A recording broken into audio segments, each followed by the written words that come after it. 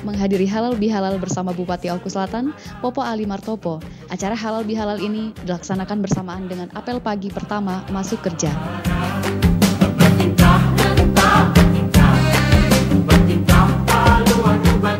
Setelah libur cuti bersama Hari Raya Idul Fitri 1439 Hijriah, Popo Ali Martopo langsung menjadi pimpinan apel pagi bersama yang dihadiri oleh Wakil Bupati dan seluruh kepala organisasi perangkat daerah dalam lingkungan pemerintah Kabupaten Oku Selatan. Sucikan diri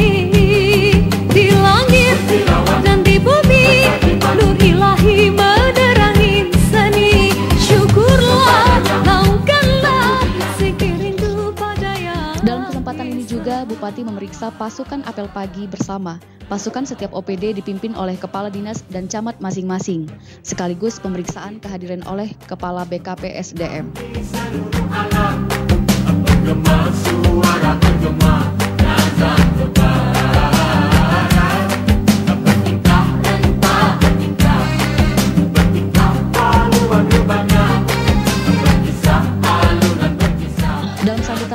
sambutannya, Popo Ali menyampaikan terima kasih atas peran serta seluruh ASN pada saat suasana bulan Ramadan yang lalu.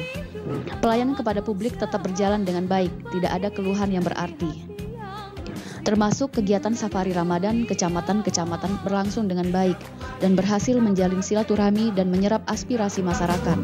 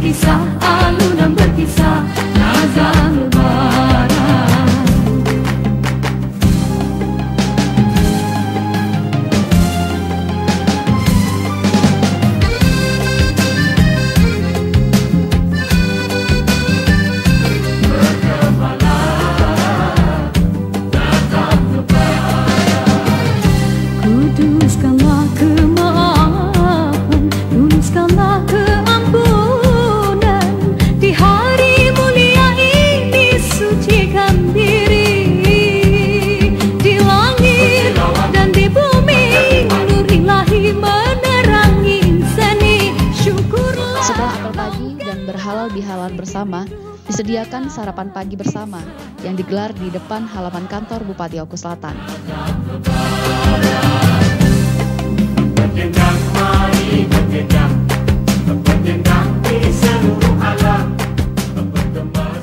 Dengan berhasilnya kita melewati Ramadan yang penuh berkah, semoga akan membawa suasana kerja yang lebih baik dan meningkatkan kinerja aparatur sipil negara.